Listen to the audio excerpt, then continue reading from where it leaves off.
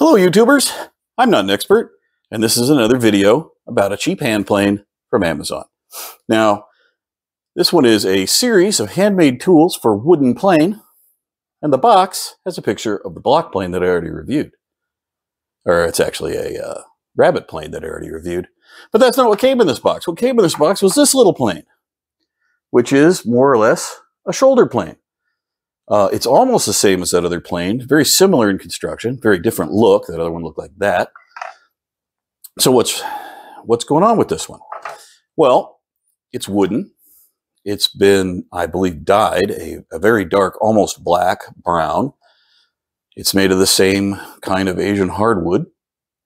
You can see a little grain in there. It's not easy to see because they've they've darkened it so much, but it's uh, it's pretty good looking. It has a real nice finish. The uh, workmanship on it's pretty good. Looks like it has either a scratch or maybe a crack developing. Uh, I guess it's a scratch. Okay, and it's assembled just like this other one with a wedge like this, and a very it's very simple. The front edge of that wedge got a little curve to it though. That's that's kind of cool. Um, now it just says handmade tools for wooden plane. It doesn't say what kind of plane it is, but my guess from looking at it is that this is a lot like a shoulder plane. In fact, I have a Stanley 92, that other way, a Stanley 92 right here, and you can see those are very similar in size. They're very similar in shape.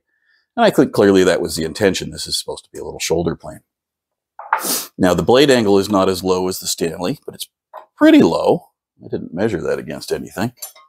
Let's check it against a square. Okay, well, it's less than 45 degrees.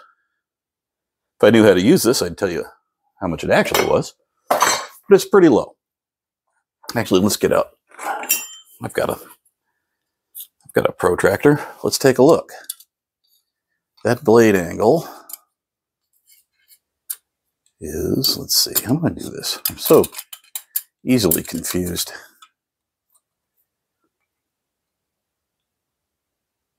Okay. That's about, well, still almost 40 degrees. Huh. Look, looks a lot lower than that to me, but I guess it's not. So it's about a 40 degree. So a little bit lower, but not as low as this Stanley 92. Right, that's some professional video making right there. I've already got this pretty well set up, so I'm not going to take it apart yet. First, I'm going to do some cutting with it. So I thought, let's let's see what a shoulder plane's really for, which is making.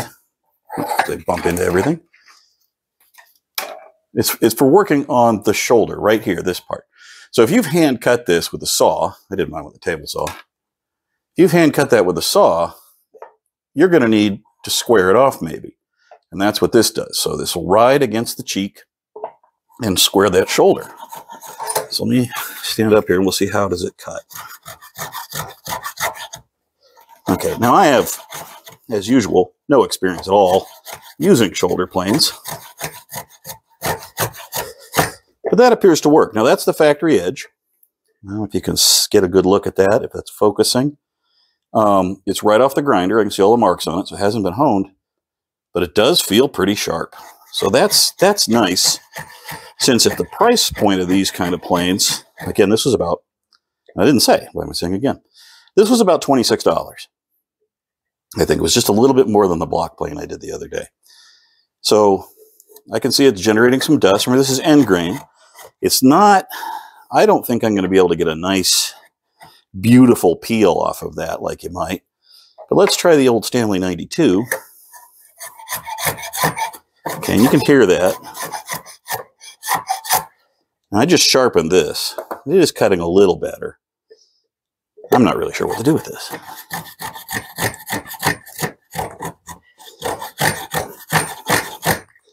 Okay, well, it's definitely working. It's not creating the most beautiful edge in the world. Probably could use a sharpening, like all of these that I've been looking at. Which, uh, okay, this be kind of a quick video because there's not a whole lot to tell about this one. Well, we can try it on a piece of regular wood too and see what it does. See if we can use it in this rabbet. Okay, so there peeled off a shaving. It's actually pretty heavy. And I gouged up the wood pretty good. Okay, that's good to know. We'll just use it like a little block plane. So, okay, clogs up pretty fast. What that tells me is the blade is actually, you know, it's decently sharp coming from the factory. I mean, everybody always says, oh, they're no good. Eh, that's usable. Not perfect. It does feel pretty good. So what do I think of it as a tiny little shoulder plane? Well, it's at least a third or maybe only a fourth of the cost of buying a modern version of this 92. And the modern version of these have a lot more features. This one will come apart. The front comes off so that you can make it into a, a chisel plane to get into corners. So that kind of doubles up its usability. And I think most of the modern copies of this, or the modern versions really, since they have some other features, are uh, also can be have the front ends removed. This has a, a, screw type adjuster. That's a lot easier to adjust. Um, it has a lower angle. A lower angle is better for cross grain. So is it as good as a sort of the modern plane? No, not really. Is it kind of cool though? Yeah, you know, it actually is. I like this one and I like that block, or not the block plane. I like the rabbet plane that I got from this company. Um, you know, they're not so bad. They're, they're kind of fun. Uh, again, if you're really serious about anything other than reenacting old planes, I'm not sure if it's really all that useful, but, uh, you know, it does work. Let's see, let's put a little more, I'm going to tap the blade in just a little bit more and try that again. Okay, so you can hear that. That doesn't sound great, and the cut it's left is not real smooth. Let me see if I did that with the Stanley.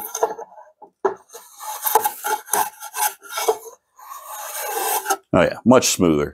Um, so part of that could be that it needs to be sharpened, and part of that might be that this blade is somewhat unsupported. Um, let's take it apart. Let's take a look at it. Ah, of course, now it doesn't want to come apart. Okay, there we go. So there's the wedge. Just it's just a hunk of wood, probably left over from all the, the stuff. That would be what I would do. And let's take a look at the blade. Okay. Um, I didn't check to see how flat it is. It's got kind of a rough finish. I mean, I wouldn't, I don't, not quite rough, but it's certainly not polished like a lot of people like. And then if we look at the edge, I can tell, you may not be able to see it. Just to get the angle. And eh, you probably can't Probably can't focus on that. Oh, there it goes. Uh, it's got a little con, little tiny bit of concaveness to it. So I'm sure this was just done on a grinding wheel. It's very even, looks pretty square. It looks pretty nice. It needs a sharpening. Maybe I'll go sharpen it up. We'll see if it quiets down. Um, but it actually feels really sharp though. That's, that's a pretty good edge for, for off of a grinder. I don't see any sign that that was honed at all. Um, kind of a neat little plane. All right, let me go sharpen it up and I'll be back in a few minutes. Okay, I'm back from sharpening. Here it is. Uh, I just put the, the slightest edge on it. I didn't spend a ton of time like I would if I was going to probably use this regularly. But we've got, back this up, got our piece of wood. And it's definitely cutting a lot better now that I've got that done. Let's take a look at this shaving. Okay, that's, you know, it's not super thin, but it's it's pretty nice. It doesn't look like I have the blade perfectly square. Let's see, that's a little more square. Let's tighten that up.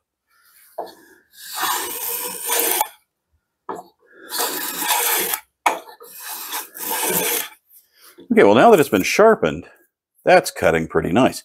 So let's put the, the cheek back up and see how it does. I can just do it on end grain right here. Let's do it on open end grain. Is everything visible? Am I on camera? Okay.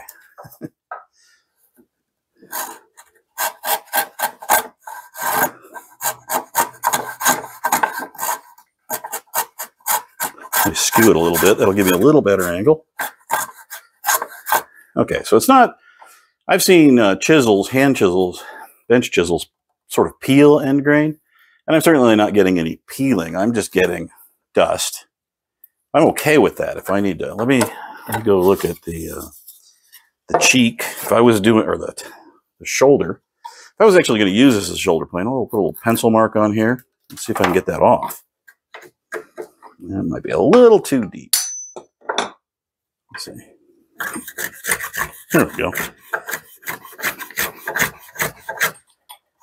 No, it's not really.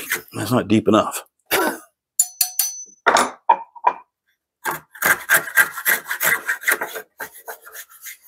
Okay, yeah, that worked pretty good. I actually did trim that up, a little. I didn't have it tight enough, so it loosened on me. Yeah, little lessons you got to learn as you use these things. All right, well, this video is starting to drag on. But you know what?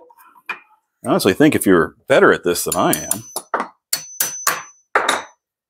uh, let's see, let's, okay, that's even.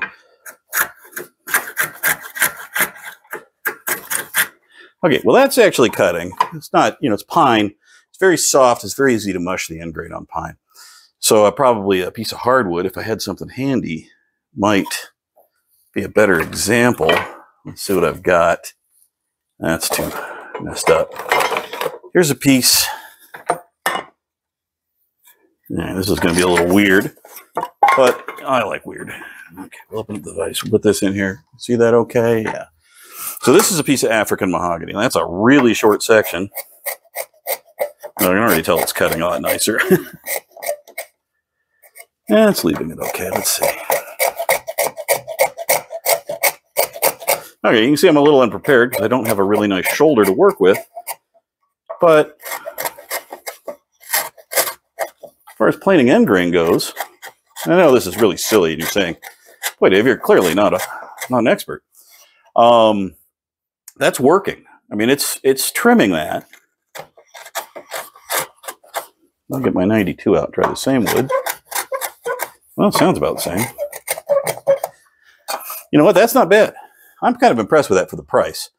And I think if you're willing to fiddle around, sharpen it, and and get it adjusted really well, I, I kind of slapped this together because I just wanted to make a quick video. Um, kind of a neat little thing. Got it on Amazon. You can uh, search for it there. You'll recognize by color. Now, one thing I noticed, it's being sold by a bunch of different sellers, a um, bunch of different retailers. So you want to kind of search around and see if you can get the best price. Um, probably all coming from the same factory, but various distributors. Uh, it's real solid. It looks good, kind of uh, uh, neat. And uh, like I said, if you want to get a hand tool woodworking and your budget's low, this may be the tool you need. Or maybe you don't need one at all. I don't know. You kind of have to decide for yourself. But uh, I don't think it's a I don't think it's a ripoff. It's not junk. It's, it's usable. All right. Well, everybody have fun. We'll catch you next time.